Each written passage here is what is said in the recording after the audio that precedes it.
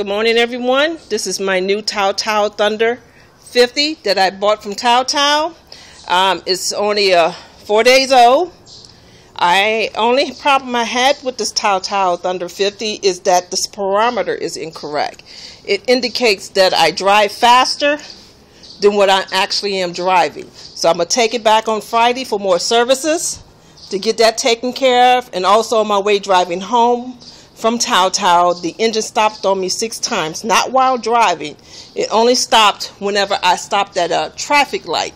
And it only it did about five or six times on my way home. And it's true, what the book states, you can get a hundred miles on a full tank of gas on this Tao Tao, and it holds about a gallon. So the gas mileage is correct because I didn't put a hundred miles on it already within four days.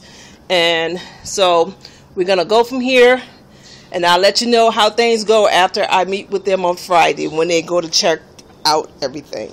Thank you.